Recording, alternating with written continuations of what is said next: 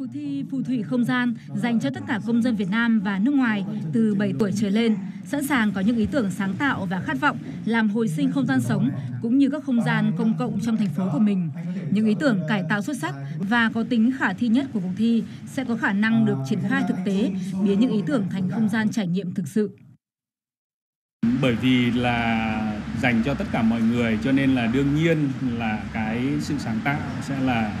là tiêu chí mà à, hiện nay hội đồng giám khảo đang đưa ra là một cái tiêu chí quan trọng nhất.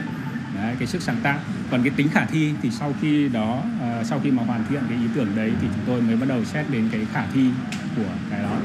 đó. thế thì là đấy là hai cái tiêu chí quan trọng nhất. Với ờ, các cái nguyên liệu để cho các kiến trúc sư có thể thỏa sức sáng tác đưa vào các, à, các cái công trình các cái à, sản phẩm à, nội thất của các cái tòa nhà văn phòng các cái chung cư các cái khách sạn và các cái công trình văn hóa khác rất là phù hợp và đáp ứng được các cái tiêu chí hiện đại và thân thiện môi trường.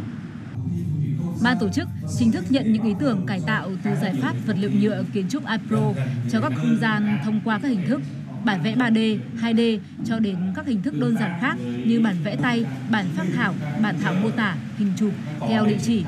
phù thủy không gian.contest a.gmail.com từ ngày 4 tháng 9 năm 2019 cho đến 24 giờ ngày 25 tháng 9 năm 2019. Theo ban tổ chức, những ý tưởng đến từ những người không chuyên hoặc chưa được tái hiện bằng bản vẽ 3D sẽ được hỗ trợ về công nghệ.